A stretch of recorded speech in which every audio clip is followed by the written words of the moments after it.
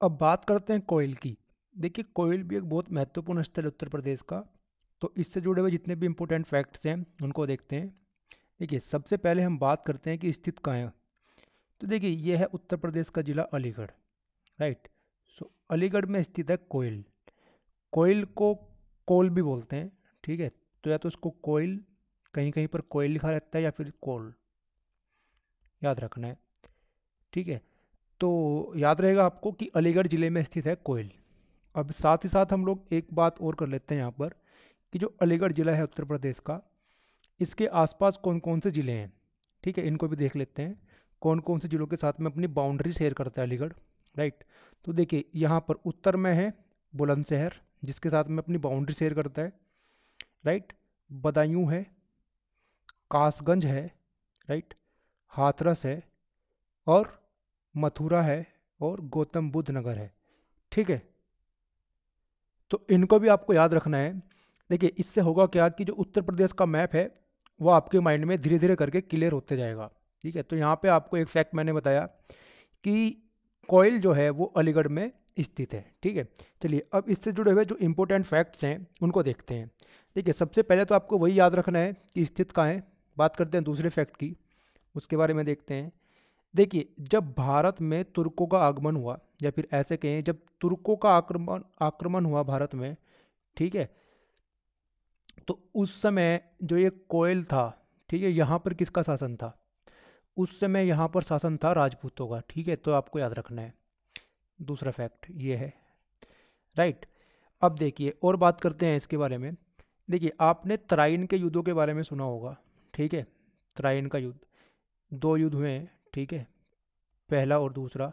तो जो तराइन का पहला युद्ध हुआ है तो वो हुआ है ग्यारह में, ठीक है? जो फ़र्स्ट हुआ है, वो ग्यारह में हुआ है और इसके बारे में आपको पता है क्या हुआ था।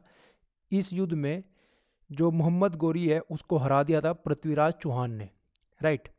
दूसरा जो युद्ध हुआ है सेकंड, ठीक है? वो ग्यारह में हुआ है।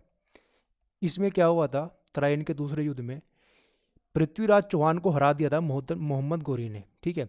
तो इस युद्ध के बाद, जो तराइन का दूसरा युद्ध है, इसके बाद में मोहम्मद गोरी तो लौट गया था वापस, लेकिन उसने कुतुबुद्दीन ऐबक को भारत में शासन करने के लिए छोड़ दिया था, ठीक है?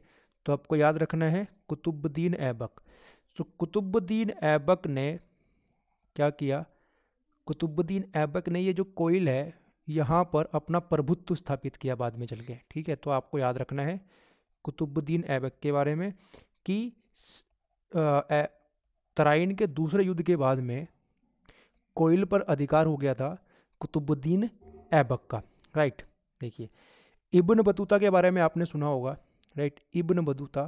तो इब्न बतूता भी क्या करता है? इब्न बतूता भी ये जो कोयल नगर है, राइट इसके बारे में ज़िक्र करता है और इसकी जो वैभव था एक तरीके से हम कहें तो उसके बारे में वो बात करता है, इसके वैभव की प्रशंसा करता है बेसिकली ठीक है? तो ये फैक्ट भी आपको याद रखना है इब्न बतूते के बारे में। इब्न बतूता क्या कर रहा है, जो एक कोयल नगर है, इसके वैभव की प्रशंसा करता है, ठीक है? आगे देखते हैं, देखिए, लोदी वंश जब था, दिल्ली सल्तनत का ठीक है? देखिए, कुतुबुद्दीन ऐबक का जो वंश है, वो ममलूक वंश है, ठीक है? आपको पता है, सबसे पहला वंश दिल्ली सल्तनत का ममलूक डायनेस्टी, ठीक है? Mamluk dynasty. उसके बाद में फिर जो बाद में आया है, वो लोधी वंश आया है। तो लोधी वंश के, दिल्ली सल्तनत के जो लोधी वंश हुआ है, उसके एक शासक हैं, जिनका नाम है बहलोल लोधी ठीक है? क्या नाम है उनका? बहलोल लोधी तो बहलोल लोधी के टाइम पे क्या था? यहाँ का एक स्थानीय शासक था। कहाँ का? कोयल का। तो उसका नाम क्या था? उसका नाम भी आपको याद रख लेना है। उस शासक का नाम था ईसा खां। क्या नाम था? ईसा खां। तो बेसिकली ईसा खां जो है, उसने बहलोल लोदी की एक तरीके से कहें जो अधीनता है, उसको स्वीकार कर लिया था। ठीक है? तो ये कुछ फैक्ट्स हैं कोयल के बारे में। जो कि आपको याद रखना है। वापस से एक बार फिर से देख लेते हैं क्या क्या आपको याद रखना है। इसकी लोकेशन आपको याद रखनी है कि कौन से ज़िले में स्थित है तो अलीगढ़ में है, राइट? अलीगढ़ ज़िले में है। दूसरा, जब भारत पर, जब भारत पर तुर्कों का आक्रमण हुआ तो यहाँ पर क्या हुआ था? राजपूतों का शासन था, राइट?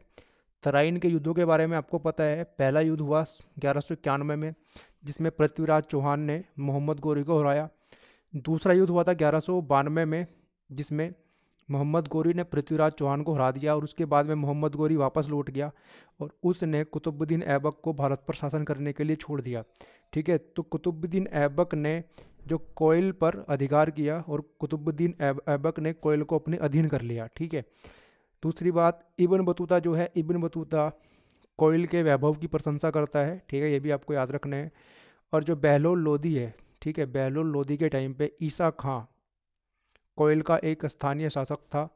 ईसा खां ने बहलोल लोधी की स्वाधीनता या फिर कहें कि बहलोल लोधी की अधीनता स्वीकार कर ली थी, ठीक है? तो ये कुछ फैक्ट्स हैं जो कि आपको याद रखने हैं, ठीक है? कोयल के बारे में चलिए आगे चलते हैं। अब बात करते हैं कड़ा की। देखिए, कड़ा भी एक बहुत महत्वपूर्ण ऐतिहासिक स्थल है उत्तर प्रदेश का राइट तो इससे जुड़े हुए जितने भी इंपॉर्टेंट फैक्ट्स हैं, देखते हैं राइट तो देखिए, सबसे पहले देखते हैं कि स्थित कहाँ है ये। तो यहाँ पर है ये उत्तर प्रदेश का कोसाम्बी जिला राइट तो कोसाम्बी ज़िले में स्थित है कड़ा। देखिए इलाहाबाद के लगभग 60 किलोमीटर पश्चिम में कोसाम्बी ज़िले में स्थित है कड़ा राइट तो याद रहेगा आपको कि स्थित कहाँ है ये? कड़ा स्थित है कोसाम्बी ज़िले में। राइट, और कहाँ पर है? गंगा के तट पर या है। तो भूलना नहीं है बिल्कुल भी आपको। चलिए, साथ ही साथ हम लोग यहाँ पर ये भी बात कर लेते हैं कि भी ये जो कोसाम्बी जिला है, इसके आसपास कौन कौन से ज़िले आते हैं? कौन कौन से ज़िलों के साथ में अपनी बाउंड्री शेयर करता है?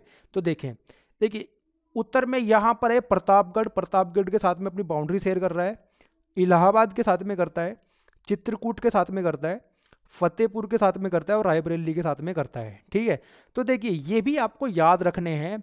इससे होगा क्या? अगर जो आप इनको साथ ही साथ में याद रखेंगे कि कौन से ज़िले की बाउंड्री कौन से ज़िले से टच हो रही है तो इससे होगा क्या? धीरे धीरे करके जो उत्तर प्रदेश का मैप है, वो भी आपके माइंड में क्लियर हो जाएगा, ठीक है? चलिए, अब बात करते हैं कड़ा से जुड़े हुए जो महत्वपूर्ण तथ्य हैं उनकी, ठीक है? तो देखिए, कड़ा की स्थिति के बारे में अभी हमने देखा कि गंगा के तट पर स्थित है राइट तो देखिए, गंगा और यमुना के दुआब में स्थित होने के कारण राइट नंबर एक, दूसरा, मध्यकाल का एक बहुत महत्वपूर्ण केंद्र होने के कारण, ठीक है तो जो दिल्ली सल्तनत का काल है वो और मुगल काल है वो, इन दोनों समय में कड़ा जो है एक बहुत महत्वपूर्ण इकता रहा है राइट देखिए, इकतेदारी व्यवस्था की शुरुआत की थी इल्तुतमिश ने, ठीक है आई बात समझ में? तो एक बहुत महत्वपूर्ण इकता रहा है या फिर इसी को सूबा भी बोल सकते हैं। तो आपको क्या याद रखना है कि इसकी लोकेशन के कारण, ठीक है, आर्थिक दृष्टिकोण से, सामरिक दृष्टिकोण से, इसकी स्थिति के कारण दिल्ली सल्तनत और मुगल काल के समय एक बहुत महत्वपूर्ण इकता रहा है, कड़ा, ठीक है। आगे बात करें, देखिए, खिलजी वंश के समय क्या था? खिलजी वंश के संस्थापक है जलालुद्दीन खिलजी, राइट? तो जलालुद्दीन खिलजी ने खिलजी वंश की स्थापना की, आपको याद रखना है। तो उस समय, जिस समय जलालुद्दीन खिलजी शासन कर रहे थे तो जो कड़ा के सूबेदार थे, वो थे अलाउद्दीन खिलजी। ठीक है? सो अलाउद्दीन खिलजी के बारे में आपको याद रखना है कि वो कड़ा के सूबेदार थे जब जलालुद्दीन खिलजी शासन कर रहे थे, राइट? अब देखिए, और भी कुछ इंपॉर्टेंट फैक्ट्स जो जुड़े हैं कड़ा से, वो ये है। देखिए, बारह सौ ईस्वी में ठीक है? जब अलाउद्दीन खिलजी कड़ा के सूबेदार हैं तो वो कड़ा से ही दक्षिण जाते हैं, ठीक है? दक्षिण में अपना एक विजय अभियान लेके वो चलते हैं और देवगिरी बेसिकली इस अभियान का नाम देवगिरी अभियान है और देवगिरी पे जाके वहाँ के जो शासक थे, उसको वो हराते हैं और हराने के बाद से बड़ी मात्रा में वो धन की प्राप्ति वहाँ से करते हैं और उसके बाद से धन की प्राप्ति करने के बाद में वो वापस कड़ा लौटते हैं, ठीक है? तो आपको समझ में आया? ठीक है? तो कड़ा लौटने के बाद में, देखिए, जब अलाउद्दीन खिलजी अपना ये देवगिरी वाला अभियान शुरू करते हैं तो वो जल जलालुद्दीन खिलजी से अनुमति नहीं लेते हैं, ठीक है? तो थोड़ा सा इस अभियान के खिलाफ थे जलालुद्दीन खिलजी, ठीक है? जैसे ही जलालुद्दीन खिलजी को पता चला कि देवगिरी से बहुत सारा धन प्राप्त करने के बाद अलाउद्दीन खिलजी कड़ा वापस लौट चुके हैं तो फिर क्या होता है कि जलालुद्दीन खिलजी कड़ा जाते हैं, ठीक है? अब कड़ा क्यों जाते हैं? ताकि जो आपका युद्ध में प्राप्त जो उस, उनको एक बहुत बड़ी मात्रा में धन प्राप्त हुआ था, राइट? उसका बंटवारा कर सके। ठीक है? तो अलाउद्दीन खिलजी को भी ये पता चला कि जलालुद्दीन खिलजी खड़ा आ रहे हैं तो उन्होंने एक बड़ा षडयंत्र रचा, ठीक है? जलालुद्दीन खिलजी के खिलाफ, और जैसे ही वो कड़ा पहुँचे तो उनकी मौत कर दी जलालुद्दीन खिलजी ने, ठीक है? तो ये एक कहानी है। मध्यकाल में इसके बारे में हम लोग पढ़ते हैं। राइट? तो आपको याद रखना है। चलिए, आगे बात करें। देखिए, जो मोहम्मद मोहम्मद बिन तुगलक हैं, ठीक है, तुगलक वंश के जो शासक हैं, मोहम्मद बिन तुगलक, उन्होंने कड़ा में स्वर्ग द्वारी का की स्थापना की थी, राइट? किसकी स्थापना की थी? स्वर्ग द्वारी की स्थापना की थी मोहम्मद बिन तुगलक ने। याद रहेगा आपको। देखिए 1602 में जो शहजादा सलीम है, ठीक है, जो अकबर के लड़के हैं, शहजादा सलीम जिनको जहांगीर भी कहते हैं उन्होंने अकबर के खिलाफ विद्रोह कर दिया था राइट और उसके बाद में जब उन्होंने विद्रोह किया 1602 में तो जो उन्होंने शरण ली तो वो कड़ा में ही ली थी, ठीक है? तो ये भी कड़ा से जुड़ा हुआ फैक्ट है, याद रखना है। अब बात करते हैं अगले फैक्ट की। देखिए, ये भी काफ़ी इंपॉर्टेंट फैक्ट है, ये आधुनिक काल से जुड़ा हुआ फैक्ट है। देखिए, सत्रह सौ चौंसठ में होता है बैटल ऑफ़ बक्सर बक्सर का युद्ध, ठीक है? और बक्सर का युद्ध जो होता है, वो आपका जो बंगाल के नवाब हैं, मीर कासिम राइट? उनके साथ में और मीर कासिम अपने साथ में लेते हैं अवध के नवाब सुजाउद्दौला को और साथ ही साथ में लेते हैं अपने वो किन को? जो मुगल सम्राट हैं शाह आलम द्वितीय को। ठीक है? तो ये युद्ध होता है सत्रह में बक्सर का युद्ध और इस युद्ध में जो अंग्रेज़ हैं, वो जीत जाते हैं, जो ईस्ट इंडिया कंपनी है, वो जीत जाते हैं और जो बंगाल के नवाब मीर कासिम है और उनसे जुड़े हुए जो लोग हैं, वो हार जाते हैं, ठीक है? उसके बाद में सत्रह सौ पैंसठ में एक संधि होती है इस युद्ध के बाद। तो इस युद्ध के बाद जब संधि हुई, सत्रह सौ पैंसठ में वो काफ़ी इंपॉर्टेंट संधि है, उसका उसका नाम है इलाहाबाद की संधि।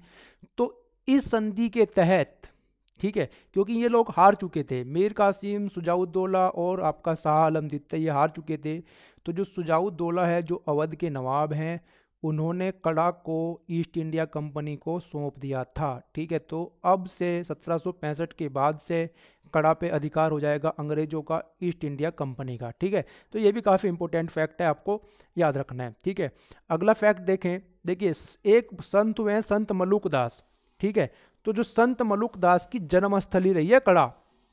राइट आई होप कि आपको ये सारे के सारे फैक्ट जो हमने कड़ा के बारे में डिस्कस किए, ये याद रहेंगे। एक बार फिर से हम लोग देख लेते हैं इसको। देखिए, सबसे पहले हमने बात की इसकी अवस्थिति की, ठीक है कि स्थित कहाँ है? तो मैंने आपको बताया कि कौशाम्बी ज़िले में स्थित है कड़ा, गंगा के तट पर राइट आगे हमने बात की, देखिए गंगा यमुना के दुआब में स्थित होने के कारण दूसरा एक मध्यकाल का एक बहुत महत्वपूर्ण व्यापारिक केंद्र होने के कारण और आर्थिक दृष्टि सामरिक दृष्टिकोण से ये बहुत महत्वपूर्ण केंद्र होने के कारण दिल्ली सल्तनत और मुगल काल का एक बहुत महत्वपूर्ण इकता रहा है, एक सूबा रहा है। ठीक है? इकतेदारी व्यवस्था की व्यवस्था की शुरुआत जो है आपकी एलतुतमिस ने की थी, राइट? आगे खिलजी वंश के संस्थापक जलालुद्दीन खिलजी जब शासन कर रहे थे तो उस टाइम पर अलाउद्दीन खिलजी कड़ा के सूबेदार थे राइट यहीं से वो एक बहुत प्रसिद्ध अपना दक्षिण में जो अभियान, देवगिरी अभियान यहीं से संपन्न करते हैं और यहाँ से बहुत सारा धन लूटने के बाद में वापस कड़ा जाते हैं। जब वो कड़ा पहुँचते हैं तो जब जलालुद्दीन खिलजी को ऐसा पता चलता है कि अलाउद्दीन खिलजी कड़ा आ चुके हैं तो जलालुद्दीन खिलजी क्या करते हैं कि जो धन था, उसका बंटवारा करने के लिए वापस कड़ा जाते हैं, दिल्ली से कड़ा जाते हैं। लेकिन अलाउद्दीन खिलजी क्या करता है? एक षडयंत्र के तहत जलालुद्दीन खिलजी की मौत कर देता है, उनको मार देता है और यहीं से अलाउद्दीन खिलजी खुद को क्या करता है? सम्राट घोषित करता है। ठीक है, चलिए। अब आगे देखें, जो मोहम्मद बिन तुगलक है, जो तुगलक वंश से जुड़े हुए हैं, तुगलक वंश के शासक हैं, उन्होंने कड़ा में स्वर्ग द्वारी का निर्माण कराया था। ठीक है? शहजादा सलीम जो जहांगीर हैं, उन्होंने अकबर के खिलाफ विद्रोह किया था और जब वो विद्रोह कर रहे थे तो उन्होंने कड़ा में ही शरण ली थी। 1602 में उन्होंने ये विद्रोह किया था। राइट? अगला के, अगला हमने इलाहाबाद की संधि के बारे में बात की, जो कि सत्रह सौ पैंसठ में हुई थी। और इस संधि के तहत जो अवध के नवाब सुजाउद्दौला हैं, उन्होंने कड़ा को ईस्ट इंडिया कंपनी को सौंप दिया था। राइट? अब जो संत मलुक दास है, इनके बारे में आप जान सकते हैं और भी। संत मलुक दास की यह जन्मस्थली है कड़ा। ठीक है? तो ये कुछ इंपॉर्टेंट फैक्ट्स जो कड़ा से संबंधित है, मैंने डिस्कस किए और आपको ये याद रखने हैं। राइट इनको भूलना नहीं है। तो इस डिस्कशन में इतना ही। इससे अगला डिस्कशन हम लोग कंटिन्यू करते हैं नेक्स्ट वीडियो में। सो बने रहिएगा साथ। Thank you